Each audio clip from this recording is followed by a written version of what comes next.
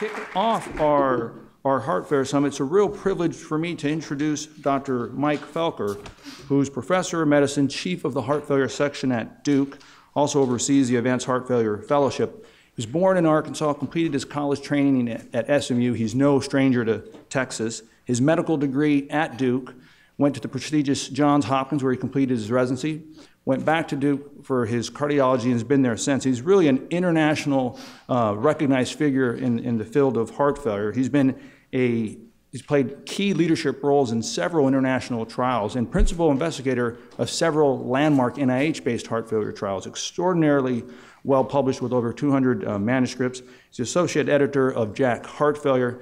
And, and for us, uh, Dr. Felker, for you to be here today to give us the keynote on an update uh, related to heart failure with reduced EF, we sincerely appreciate. Dr. Felker.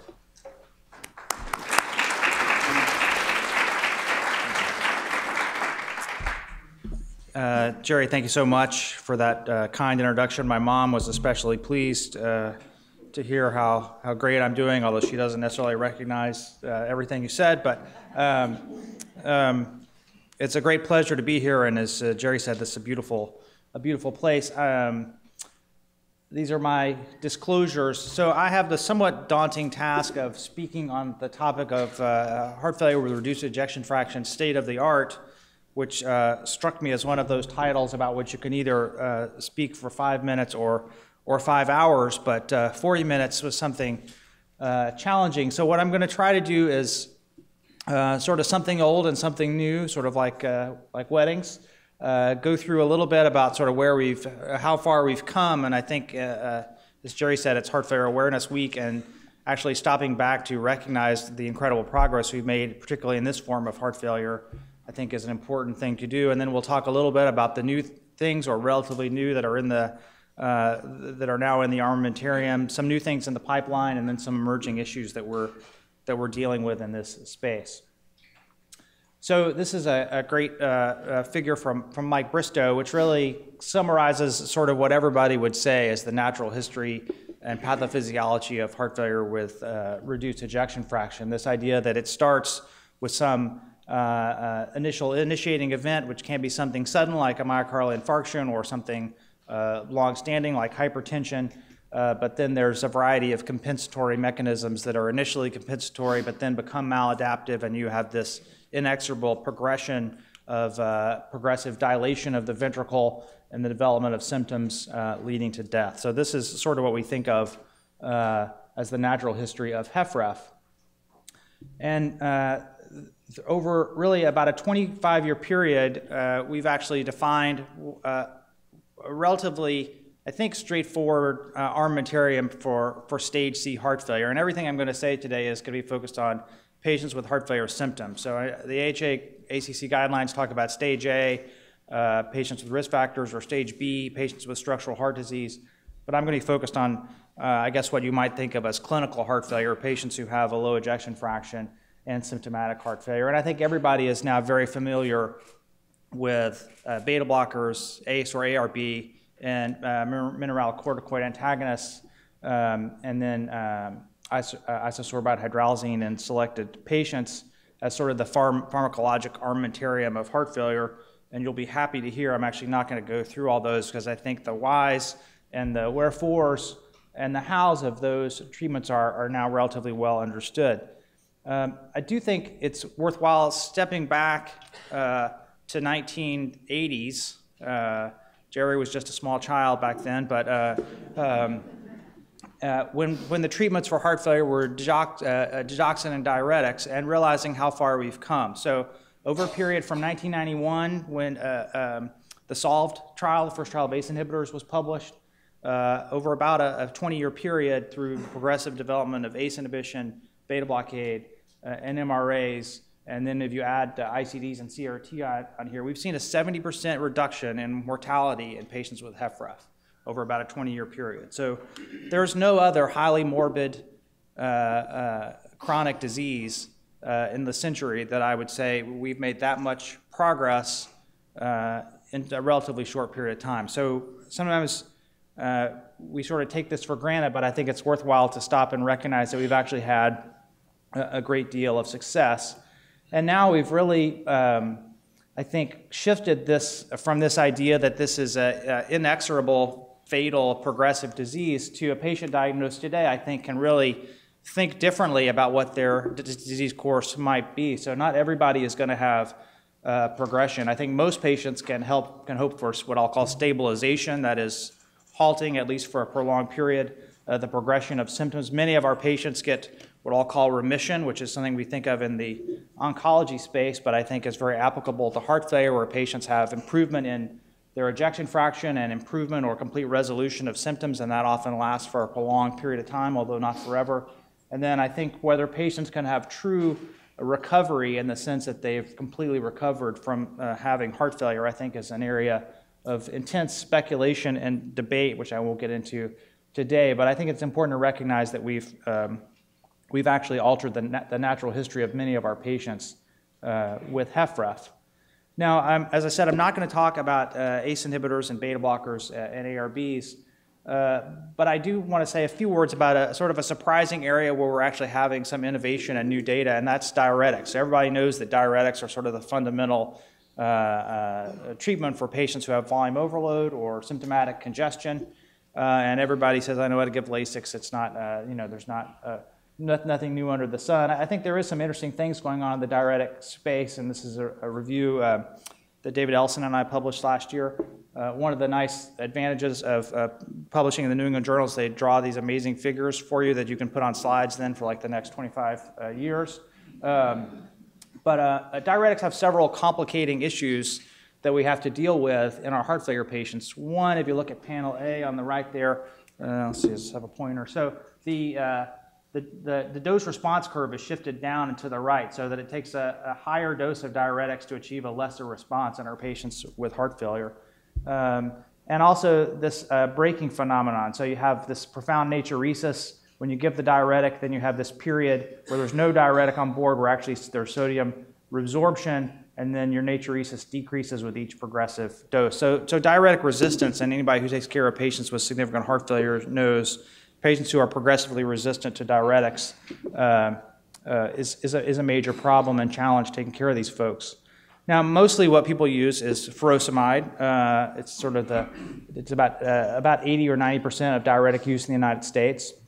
And I'm, what I'm really speaking about oral use right now. Furosemide actually is pretty terrible as a drug in terms of its bioavailability, mainly that its bioavailability when given orally is so highly variable. And there are other uh, drugs like torsemide, which has a longer half-life, which is uh, something that I think because of the braking phenomenon I just described is a highly desirable thing in a uh, diuretic, and uh, it has much more reliable bioavailability. And there's some interesting data, which I won't show um, because of time, uh, that torsemide is actually, uh, the torsemide is actually anti-fibrotic. So this is actually uh, led to what will be launched later this year, the first, uh, what I'll call the first diuretic mega trial. If you look at diuretic trials out there, the most cited diuretic trial is the DOSE trial.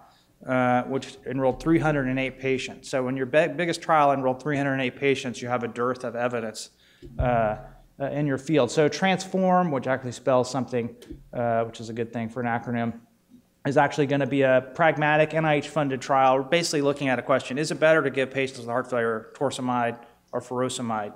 Uh, because there's at least some data from small studies and meta-analysis suggesting that torsemide is certainly uh, uh, associated with a better clinical response and potentially uh, better outcomes. There's also some interesting things going on with the diuretics uh, in the parenteral diuretic space. So we're all used to giving uh, furosemide uh, intravenously. Furosemide is very basic, so if you tried to give it sub-Q, you'd get skin necrosis and it wouldn't be tolerated. But this combination of a reformulation of furosemide and this uh, subcutaneous patch pump, uh, which uh, is about the size of an iPhone, a little bigger, um, uh, which permits the uh, use of uh, furosemide, basically IV strength furosemide outside the hospital setting. It delivers 80 milligrams over a five hour period. And this pharmacologically, if you look, basically gives more or less equivalent drug levels of furosemide and more or less equivalent diuresis to what you get with IV. So when you think about uh, if you had a tool where you could give IV furosemide outside the hospital or patients could give IV furosemide to themselves, because this technology is designed actually for patient use, it opens up a whole uh, spectrum of ideas about how you might keep people out of the hospital, manage people who have recurrent admissions. And we're actually launching a trial this year uh, uh, uh creatively called SubQ HF to um, investigate whether we can use this technology to cut length of stay in hospitalized patients and also keep patients out of the hospital. So I think, strangely, I think we're now in an area of some innovation in diuretic therapy, which will be interesting to see as the as as the next couple of years roll roll on. So you know, if I was giving this talk in 1785, uh, for for one thing, the PowerPoint would be much less sophisticated than this one. Uh, but we'd be talking about digoxin. So heart failure, of course, has one of the oldest uh, uh, uh described medications for any uh, disease state that's actually efficacious, and that's digoxin. And then, as I talked about, we had this period of incredible innovation in the 80s and 90s, where over about a 20-year period, we basically identified three highly effective classes of drugs that decreased mortality and at the same time developed ICDs and CRT. So uh, then we had this dry period. So if I had to give a talk in 2008 uh, about new innovations in heart failure therapy, it would have pretty much been a short talk. Um, but now I think we, we suddenly are, uh, have the, both the uh, privilege and the challenge of how to incorporate uh, new therapies into what I think we'd all become fairly comfortable with, sort of the basics about ACE, ARB, beta blockers. Uh, uh, MRA. So I'm going to talk a little bit about these two new players.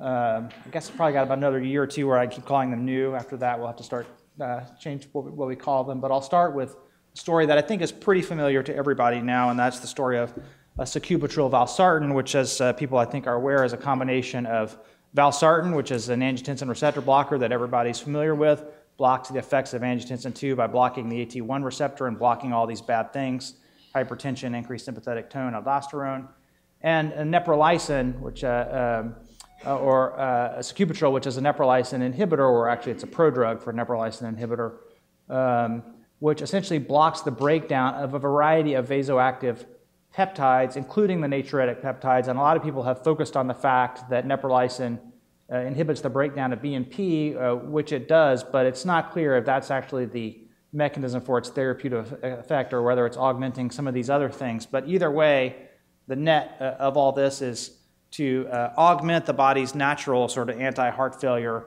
defenses, you might say. And neprilysin inhibition res- results in a variety of uh, salutary effects.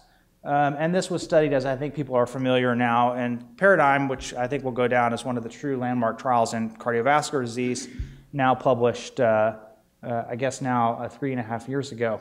And Paradigm had an interesting design uh, component uh, which has caused a lot of uh, furor, and that is that it had a, a run in period. And we can talk offline if people want to talk about the pros and cons of run in periods, but um, the reason they had a run in period was a simple one, and that is that for the first time, they were actually trying to prove that a new medicine was better than an old medicine, in this case, the ACE inhibitor enalapril. So if you think of all the beta blocker trials, the aldosterone antagonist trials with spironolactone, the ARB trials, they all were essentially trying to say, is the addition of this new drug on top of all the other stuff we usually do better? So they were all placebo controlled trials. This is a head to head against an active comparator uh, that was known to be highly effective, and that is ACE inhibitors.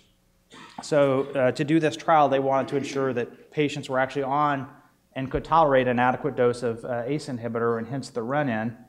Uh, so about 10,500 patients entered the run-in, about 8,500 got randomized, so about 2,000 patients, or around 20%, dropped out. Um, actually, more people dropped out uh, during the enalapril phase than the, uh, than the sacubitril valsartan phase, and most people who dropped out, it wasn't for intolerance, it's just they realized they didn't actually want to be in a clinical trial, uh, which is actually one of the pros of having a, a, a run-in period. But um, so 8,400 patients randomized, the largest uh, heart failure trial ever done, enalapril or sacubitril valsartan. Um, and I think everybody's aware of the primary endpoint of uh, Paradigm. And if you can't remember anything else about Paradigm, you just remember everything is 20% better. So 20% risk reduction in the primary endpoint of cardiovascular death or heart failure related hospitalization uh, with a very low number needed to treat 21 uh, of sacubitril valsartan over enalapril. uh, 20% risk reduction in cardiovascular death, 20% risk reduction in uh, heart failure hospitalization. And uh, uh, if you look at the cardiovascular death, there's actually a more or less similar risk reduction in sudden death and heart failure death. Um, so, so really impacting both uh, common modes of, of death in heart failure patients. And then uh, a, a, reduction in all-cause mortality, which I think is really surprising because as everybody who takes care of heart failure patients knows, heart failure patients are old. If, you, if that's news to you, then this is going to be a lot to learn in the symposium today. So, uh, so heart failure is a disease of elderly folks, and elderly folks have a lot of other comorbid things. And, and so even if you make their heart failure better, you're not going to cure their COPD or their prostate cancer. Um, and so to actually have a heart failure treatment that, that changes all-cause mortality in 2018 is pretty, pretty unusual. So I think these were striking results and a very large treatment effect. And again, not a treatment effect over placebo, but a treatment effect on top of um, other best treatments uh, uh, with a very good dose of enalapril. Now, what about tolerability, which if you have a new medicine, you know, do you get something for, for nothing? And I think tolerability is a mixed story. Uh, if you look at uh, things like hyperkalemia, renal insufficiency, cough, they're all actually better with sacubitril valsartan than they are with enalapril. The one thing that's clearly worse with sacubitril valsartan, which makes sense if you think about its mechanism, is it causes more hypotension. And I think that's been everybody's clinical experience as well, is that when you start this drug, even in patients who have tolerated a reasonable dose of ACE inhibitor, you have to be uh, uh, watchful for, uh, for the blood pressure, and we can talk about that uh, in a minute when we talk about implementation. Um, angioedema, which was a substantial concern uh, based on the failure of prior drugs that impacted neprilysin, uh, basically was very rare and not significantly different. So safe, well tolerated, and better uh, than ACE inhibitors. And just to put it in context again, uh, to, uh, I think it's important to realize that when we talk about a 20% risk reduction, which we're used to seeing in successful clinical trials, this is unusual because it's a 20% risk reduction on top of something that was already highly effective. Or to put it another way, uh, sacubitril valsartan is as much better than enalapril as enalapril is better than nothing. So basically, or another way you can think about it would be a doubling of effect of uh, enalapril when you think of uh, relative risk reduction. So, uh, so it's a very substantial, I think, clinically important um, benefit and uh, advance. And many people have looked at the paradigm data and said, we got to figure out who really benefited from sacubitril valsartan over enalapril. So who should we really focus on switching? Because should we switch everybody? Should we switch nobody? What kind of patients should we switch? Well, if you look at the data and you want to be data driven, so these are all these subgroups, you basically, no matter how you split it, and there's literally been hundreds of subgroups done now, you, you really can't find any group where if you said, if you were like this, it would have been better for you to actually just to be on an enalapril. No matter whether you're old, young, sick, less sick, uh, man, woman, whatever it is, you're better off having been randomized to sacubitril valsartan than to enalapril in the paradigm study. So I think there are all sorts of uh, rationales and things people have talked about about why you might or might not switch certain groups of patients from an ACE inhibitor or an ARB to sacubitril valsartan, but um, but I, I, don't think you can derive those from the paradigm data. They have to be derived from some other consideration. So uh, the results of paradigm created what I think is one of the most confusing guideline statements uh, that we have. And I, am sympathetic to Clyde, Yancy, and the guideline committee because they, they really were, uh, for the first time, they had uh, something that had been a class one a level of evidence A indication of the guidelines since the very first guidelines for heart failure in the 90s, ACE inhibitors. They didn't want to take that out, but now they had something else that head to head seemed better. So we have this kind of strange recommendation. So it's still a class one uh, level of evidence A that you should be on an ACE inhibitor or an ARB. It's a class one level of evidence B because it's only one trial. Although you could argue paradigm was so big, it's actually a higher level of evidence than, than several trials to be on an ARNI, which is uh, an angiotensin receptor neprilysin inhibitor, of which right now there's only one sacubitril valsartan. Um, so it's a class one indication to be on an ACE or an ARB but it's also a class one indication to change from an ACE or an ARB if you're on one to something else. So this creates a little bit of cognitive dissonance about what to do.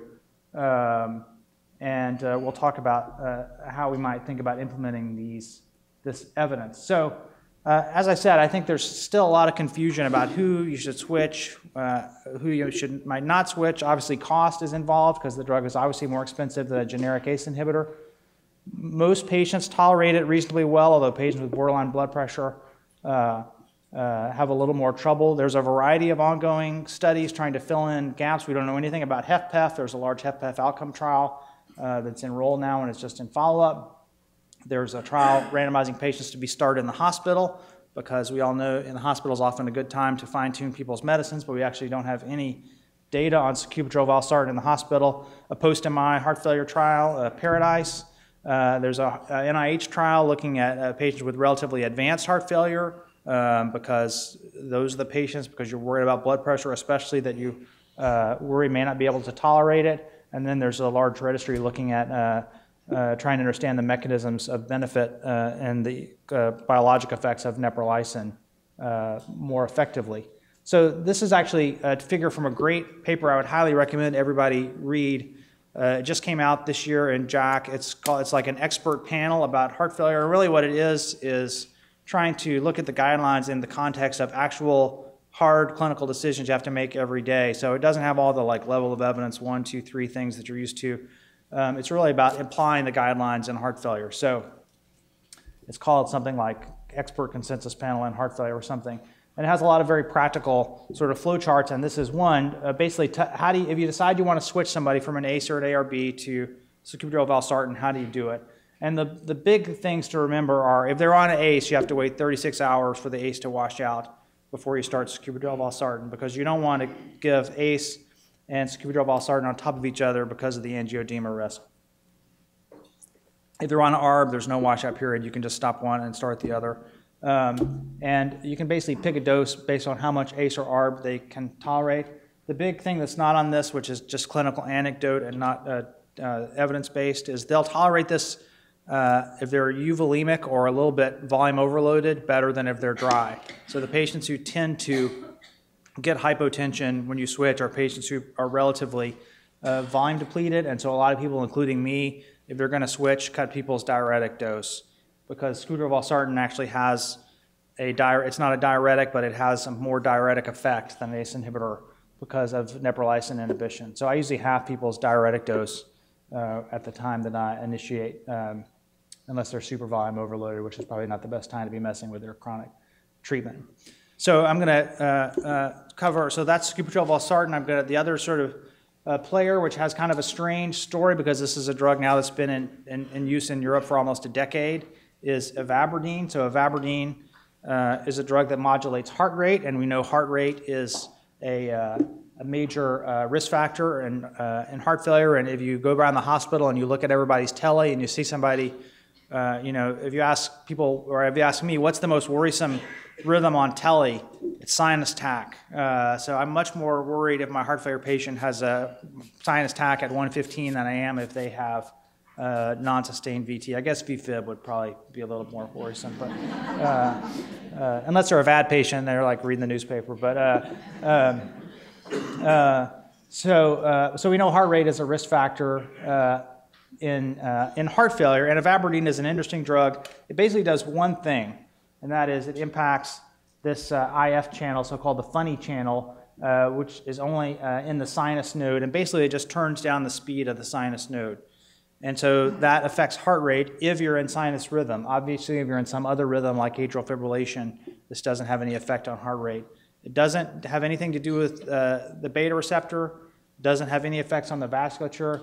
It's actually a, a, a nice drug in the sense that it basically does one thing it makes the heart rate slower. This was studied in the SHIFT trial, which actually occurred now over a decade ago. Um, and so this drug was developed in Europe, no US patients, approved in Europe uh, in 2011, I guess, and has been used for uh, now almost a decade in Europe. And then there was a seven year gap before it got approved in the United States, which is, there are complicated reasons we could talk about if people want. But um, essentially, a traditional uh, HFrEF trial uh, uh, about 6,500 patients, low EF. You need to have a heart rate greater than 70 and be in sinus rhythm to get in the trial. So obviously, if your patients are in chronic AFib, uh, this doesn't matter. There was a lot of emphasis on trying to maximize beta blocker treatment, although despite all those efforts, uh, only about uh, half the people were on about 50% of the dose. So this just shows that it's hard to get uh, uh, heart failure patients to their target dose. Um, ivabradine, as you might expect, decreased the heart rate, which is what it was supposed to do, compared to placebo. And again, about a 20% risk reduction in the composite of death or uh, heart failure hospitalization. If you look at the secondary endpoints, this is really mostly driven by hospitalization. So the way I would put ivabradine in your mental framework is that ivabradine is a drug in patients who have sinus rhythm, elevated heart rates greater than 75 is what the label says, um, and especially if recurrent hospitalizations is an issue, those are good people to target for ivabradine because its primary effect seems to be uh, in diminishing uh, hospitalizations. And as you might expect, the greater drop in heart rate you got with ivabradine, uh, the more effective it was. This is what the guidelines say. It's 2A, so not as strong a level of evidence as uh, some of the other data that we've seen from ACEs, ARBs, uh, uh, sacubitril/valsartan, um, and what the, the label says is EF less than 35 and heart rate of uh, 70 uh, or greater and sinus rhythm. So I think this is, I don't think a blockbuster uh, addition to our armamentarium, but I think a nice addition to our armamentarium in selected patients. And I, if you see that person who just has that sort of, seems like kind of an inappropriate level of sinus tach, even though they're on a good dose of beta blocker, um, I think those people are good, good candidates for uh, ivabradine. So I'm going to shift gears and talk about some things in the pipeline because I think uh, there's always room to continue to think about new mechanisms, and these are a couple of interesting drugs. So inotropes are like the impossible dream in heart failure because if the heart doesn't squeeze uh, um, uh, strongly enough, then a drug that makes the heart squeeze more strongly just makes sense that it ought to be a good thing. And if you talk to patients and you say your heart is weak, it doesn't squeeze very well, often they ask, what can you give me that would make my heart squeeze stronger? Because that seems like a good thing. But inotropes uh, traditionally are a little bit like this taste test that basically get the same result no matter what, uh, what kind you, you use, that they just, um, uh, all traditional inotropes have increased mortality, and there's a lot of data to support that, and this is just one, and this is IV inotropes in the hospital, and this is cohort match for disease severity. Patients uh, who get uh, do worse than patients who get other forms of, of treatment.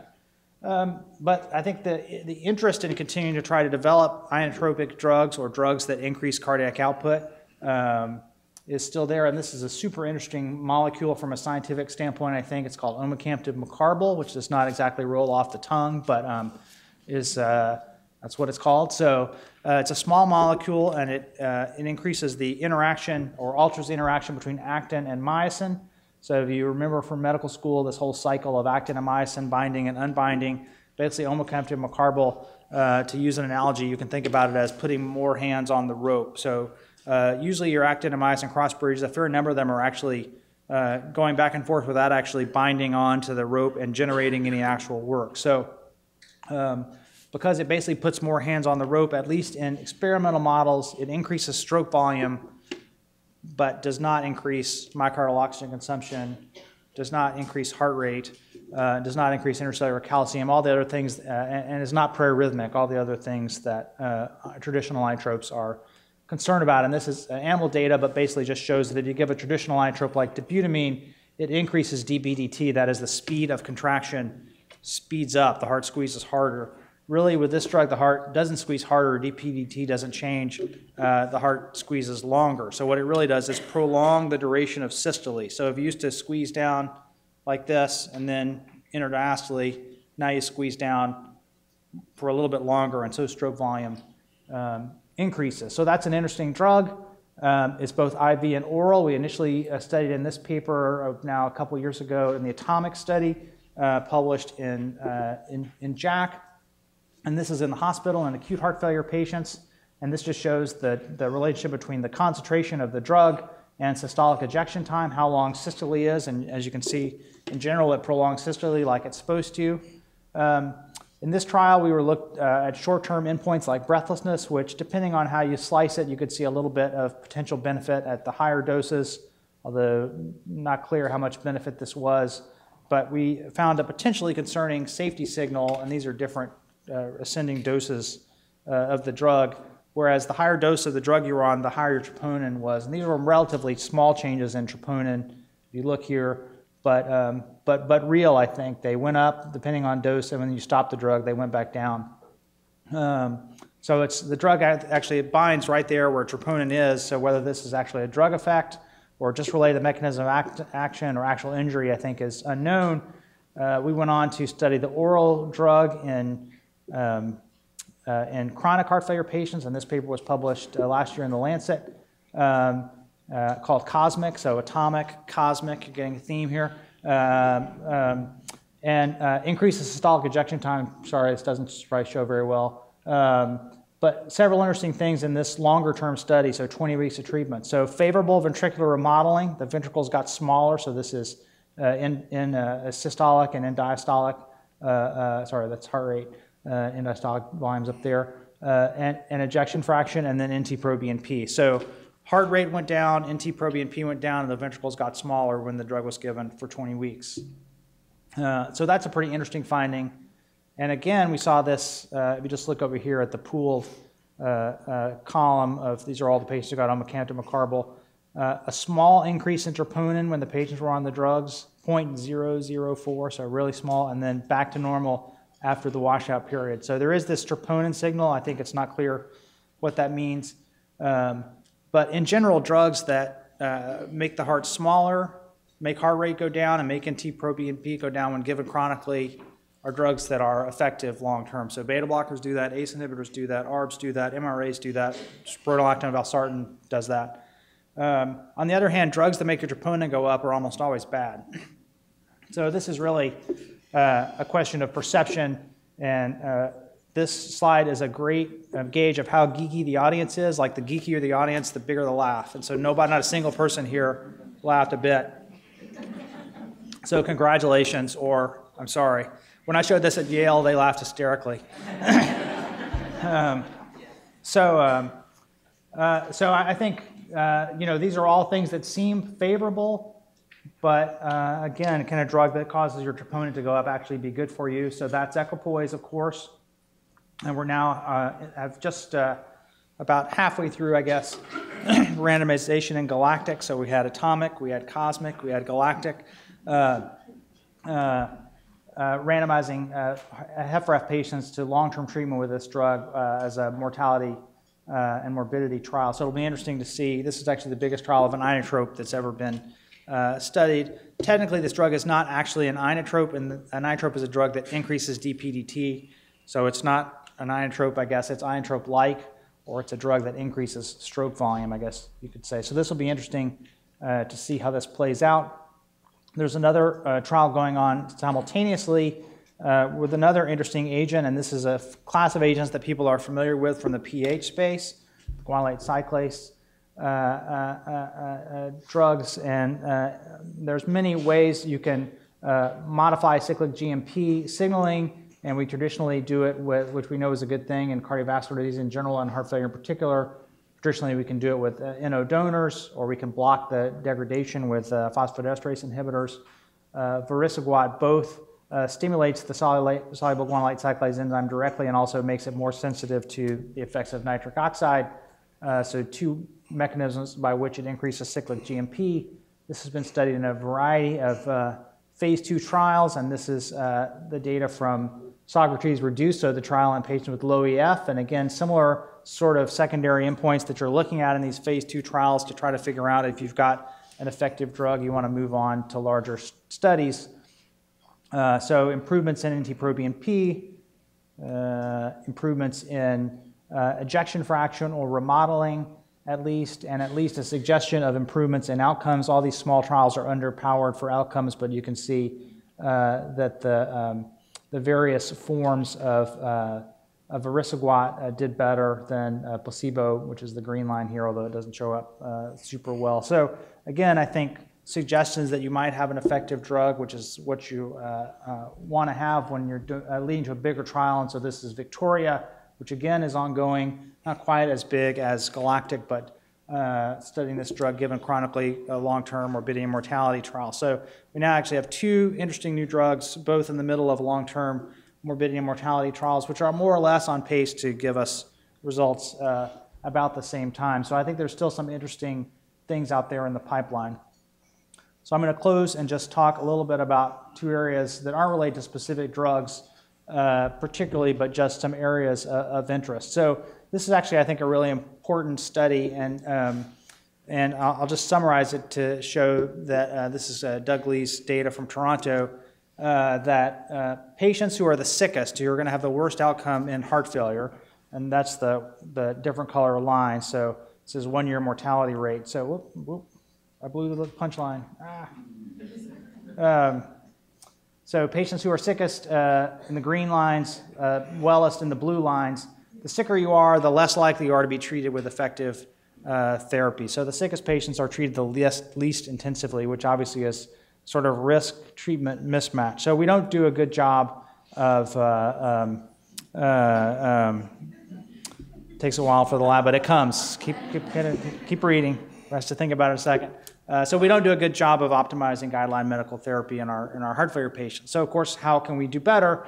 Well, we, um, we often uh, do better um, um, uh, um, if we have a target or something to guide us to help us know which way we're, we're trying to go. Uh, so what might we use as a target in, in heart failure? Well, of course, we all know that the natriuretic peptides measuring BNP or NT-proBNP are highly associated with mortality. And that has led to this idea of, of biomarker-guided therapy, the idea that you should titrate your chronic heart failure medications, your beta blockers, your ACE inhibitors, your diuretics, et cetera, to try to achieve a given target, the lowest NT-proBNP or BNP, you can pick a target, um, and that that might be an effective way to treat heart failure. And that's actually how we treat most chronic diseases. So we don't go to the diabetes clinic and say, we're going to give you as much insulin as you can tolerate. We, tit- we have a hemoglobin A1C that we know is associated with good outcomes, and we have a variety of tools we know that manipulate blood glucose, and we try to get the hemoglobin A1C to a target and keep it there. And we do the same thing with uh, lipid management with a variety of chronic diseases. Actually, heart failure is one of the few chronic diseases that we don't treat in this way. And there's been a bunch of small studies and meta-analyses suggesting that this might be effective uh, way to treat heart uh, failure patients, what I'll call biomarker-guided heart failure therapy. Um, I'm always, I think you should generally be leery of meta-analysis that combine tons of very small studies because they often uh, there's a strong publication bias uh, uh, in those scenarios. So the way you address that is to do a bigger trial, which we did. This is GUIDED, which was an NIH-funded trial we just published last fall.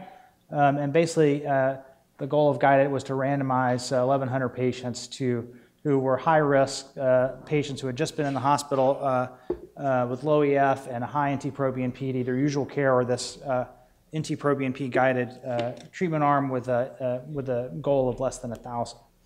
Uh, unfortunately, like a lot of good ideas, it didn't turn out to work. So this is usual care versus biomarker guided, and you can see they had identical uh, uh, uh, long-term outcomes. And if you look at the percent of patients who were on the best medical therapy, they were actually very similar in the usual care arm and the biomarker guided arm. So we didn't actually um, uh, show that we could get people on better treatment. One of the flaws in Guided was they were mostly at places that were really experienced and interested and expert heart failure sites, and so they were already doing a very good job with guideline medical therapy. So whether we could have shown a bigger difference with less experienced sites, I think, is an open question. Not surprisingly, when you look at the NT-proBNP values, which were blinded in the trial, but from the core lab, you see that they're almost identical. So I think uh, whether or not this is still an idea that has some legs, I think, is uncertain. Um, but I think it does point to the idea that uh, a major unmet need in heart failure is how to implement the drugs we already have and the tools we already have in an effective way. And that's at least as important as developing new treatments. And then I'm going to close because uh, I'm in Texas here with uh, uh, this this uh, a brief word about uh, diabetes. I, uh, so when uh, when uh, when Jim Hill shows Joe Hill shows this, he has a cowboy hat on the guy at the right, but I thought that might be offensive to this audience. So I, uh, we have plenty of this in North Carolina as well. So everybody knows there's this major obesity epidemic in in the Western world, and in parallel to that, we've had this incredible decade of these cardiovascular outcome trials in diabetes. So the FDA made this rule that if you want to have a new diabetic drug that gets approved, you have, you can get it approved by showing that it, it controls glucose, but then you have to do a big trial to show that it's safe. That is, that it does not increase the risk of cardiovascular disease, which doesn't seem like a very high bar because one of the reasons we want to control diabetes is to decrease the risk of cardiovascular disease. But anyway, you had to, and so for the three uh, classes of anti-diabetic drugs that have uh, been developed, the DPP-4 inhibitors, the SGLT2 uh, inhibitors, and the GLP-1 agonists, they've all undergone all these huge trials, and it's very confusing. It's a whole alphabet soup of, of acronyms. But several interesting things have come out of the trials. Um, and one of the first and surprising things, and this is with saxagliptin, which is a DPP-4 inhibitor, uh, was this signal of increased risk of heart failure in patients. And this is uh, uh the SAVOR trial, uh, increased risk of heart failure, about a 30% risk, increased risk of heart failure uh, in a trial that was overall neutral for cardiovascular outcomes um, with this agent. And one of the things that there's a lot of question about whether this was real or not. Um, one of the things that happens is the longer you're on a trial, the more, the more likely are to sort of drop off of taking the drug. But the risk was the highest relatively early when a lot more people were taking the drug. So that is something that suggests it could be real. Um, there are two other major trials with similar drugs. So there's uh, SAVOR TIMI 53 with saxagliptin, exam with alogliptin. Um, so again, these were neutral on their primary endpoint, which was not about heart failure, was just about all cardiovascular events. Uh, alogliptin, uh, 7% increased risk of heart failure events. Uh, sitagliptin, TECOS, uh, which was a Duke trial, no increased risk. So still uncertain if there was actually an adverse effect of these class of drugs or not. And if um, right now the FDA has a black box warning for use in heart failure with saxagliptin, uh, and alogliptin, although you could argue that the signal with alogliptin is pretty weak. Um, and so everybody said, oh, this is going to be really interesting because these new diabetic drugs uh, might be bad for you if you have heart failure.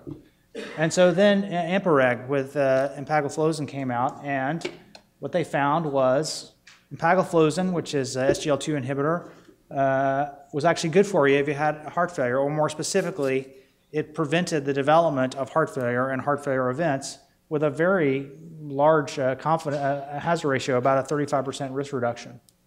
Um, and uh, this has been not replicated, but at least similar data from other SGL2 inhibitors suggesting it might be a class effect. So now we have one class that's probably bad for you if you have heart failure, the DPP4 inhibitors or the gliptins. We have this other class, the SGL2 inhibitors, which seems to be good at preventing cardiovascular disease and in particular at preventing heart failure. And those are the ones that you can't pronounce, all the empagliflozin, canagliflozin. You can't figure out how you're supposed to say it. That's, that's the class I'm talking about. Um, and, uh, and so, so that was creating confusion and coined this new term, the metabulodiuretic, because the SGL2 inhibitors have a variety of uh, interesting effects on the vasculature and in the kidney and they definitely are cause an osmotic diuresis. So what the mechanism uh, that might explain cardiovascular benefits and heart failure benefits in particular uh, from this class of drugs, I think is still somewhat, um, somewhat uncertain. Um, and then the third class is the GLP-1 agonists. Um, and so those are the ones that, these are all sub-Q drugs, and uh, liraglutide had the biggest trial leader, which again showed uh, improvement in cardiovascular outcomes and maybe a suggestion in heart failure, although probably no specific effect in heart failure. So maybe good in cardiovascular, uh, neutral on heart failure outcomes, although at the same time, uh, GLP-1 agonists improve myocardial oxygen uh, uh, uptake and substrate utilization. So there was a lot of thought that this actually might be the class of drugs most likely to help in heart failure. And we had actually done in the NIH Heart Failure Network a shorter, a smaller trial of trying to use liraglutide in patients at the time they went home from the hospital. It was published in JAMA two years ago called FIGHT, and that actually showed a 30% risk reduction, uh, sorry, 30% risk increase in patients uh, treated with liraglutide, although not significantly, uh, not statistically significant in this small trial. So I think we're left with this massive confusion right now about these antidiabetic drugs and what's safe, what's dangerous, what might actually be beneficial in heart failure. And there's a whole series of trials, mostly focused on the SGL2 inhibitors in HFpEF and HFrEF, uh, in patients with and without diabetes, trying to exist, to figure out, could these actually be cardiovascular drugs in addition to anti-diabetes drugs? So this, I think, is a, a field right now that has a lot of confusion. I think there'll be greater clarity in the years to come, uh, but I think a very rapidly evolving part of the heart failure uh, space. So I think, um, just to conclude, I think we've actually got a lot to celebrate uh, in how we've improved our treatments of patients with, with HFrEF. If you look compared to patients in the hospital or patients with HFpEF, both of which have been, I think, in general, a, a lot of disappointment. Um, and I was super glad to get asked to talk about HFrEF because it actually feels kind of good to talk about, uh, as opposed to HFpEF, which feels kind of depressing. Um, but I think there's uh, uh, a lot of interesting things in the pipeline. I think a lot of interesting things which I didn't uh, talk about because of time uh, gene therapy, cell therapy, neuromodulation, uh, different forms of mechanical support. Um, and then finally, just to close, I think a key uh, unmet need as we think about all these great new treatments is we have to do a better job of optimizing the drugs that we have. We could actually make a massive public health benefit in the United States and the Western world today just by optimizing the tools we already have and know how to use and getting all our patients uh, who need them on the best doses of the best meds. So uh, thank you all very much for your attention, and I have 56 seconds left.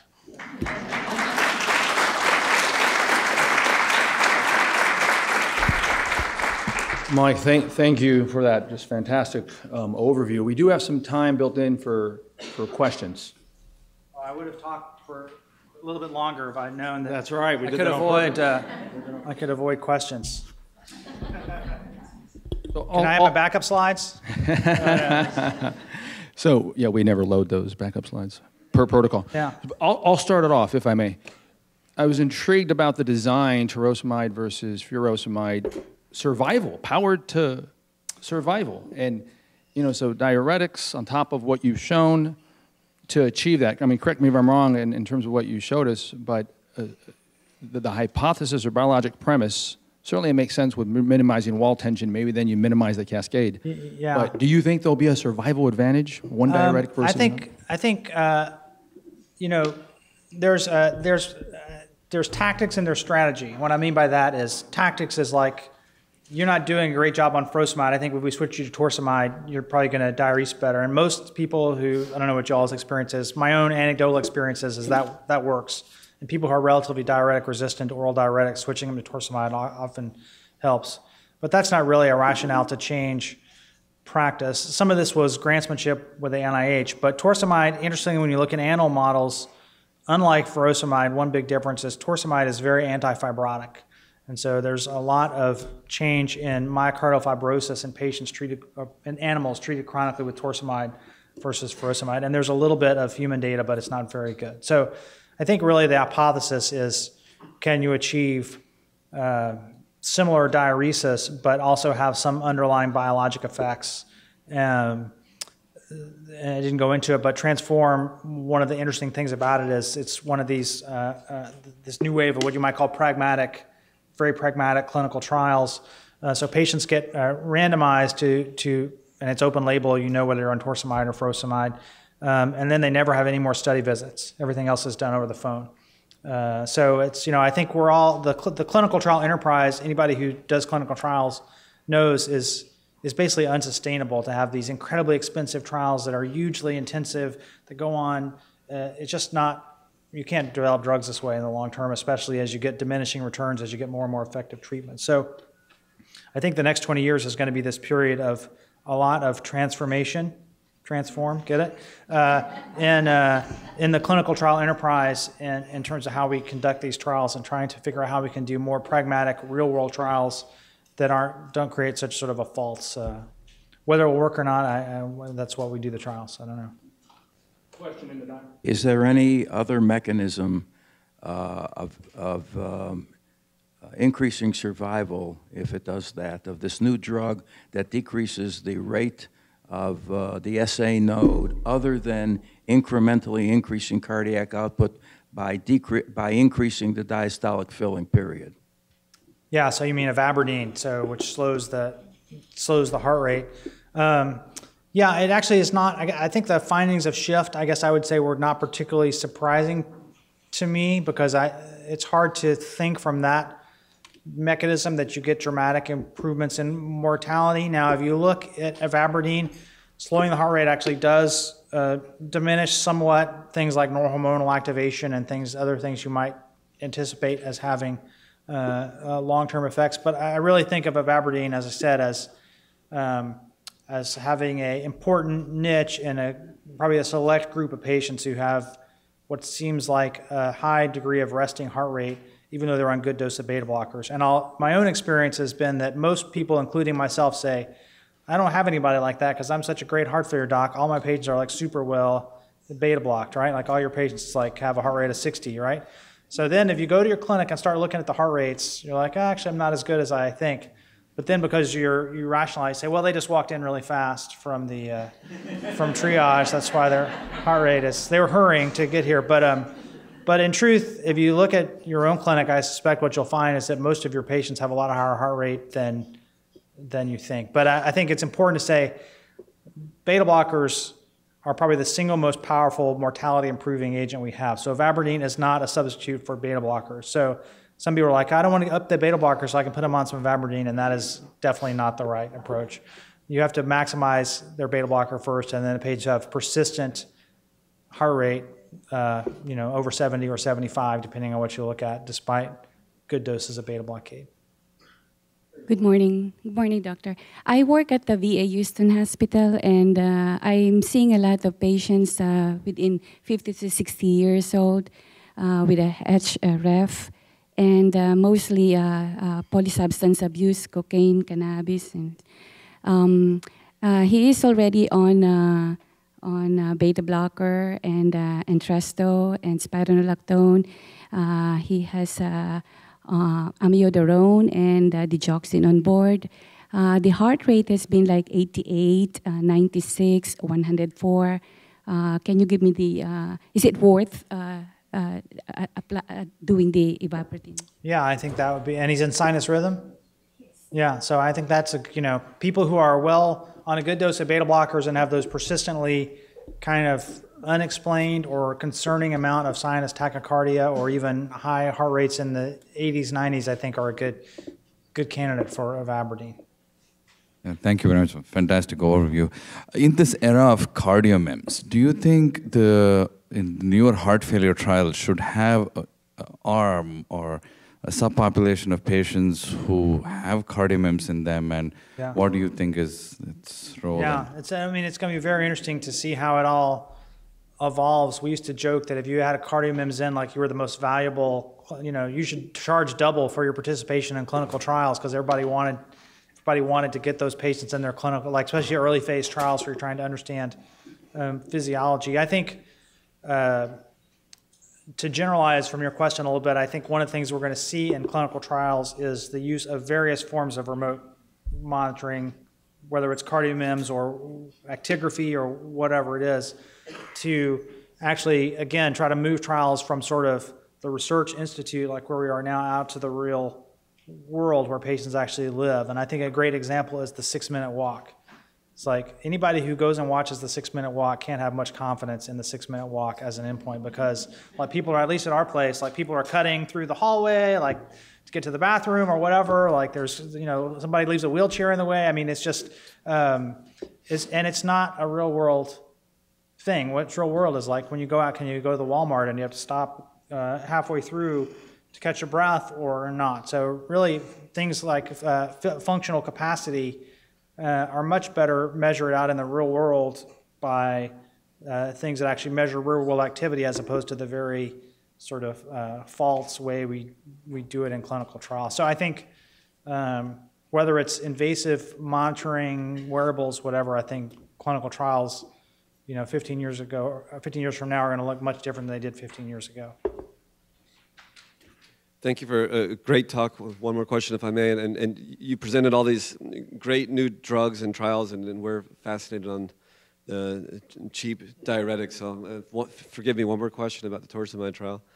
How are you going to ensure adequate or equivalent doses of the torsemide and, and furosemide in that trial? Yeah, that's the beauty of pragmatism is, and that's where randomization and size helps you. So, in a big trial, you don't have to worry about it basically because if you have 3,000 people in each arm, uh, you just say, take care of this person in the best way that makes sense to you because it's hard. I mean, we found this in dose.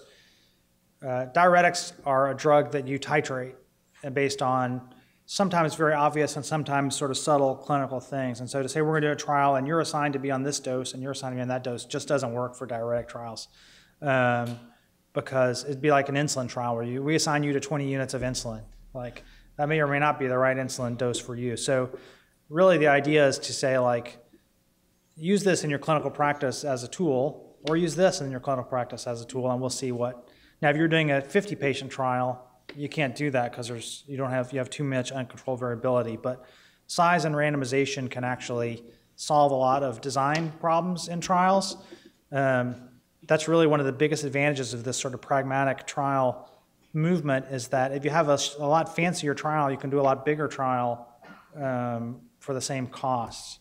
So, you know, a 6,000 patient trial, and these are not actual numbers, they're just so, like Paradigm had 8,000 patients. I think Paradigm probably cost about, about $300 million.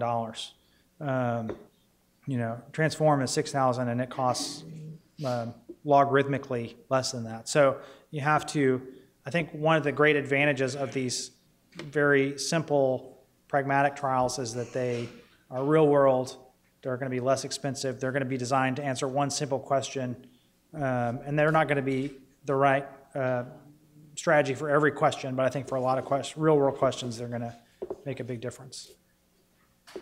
Excellent. Thank you.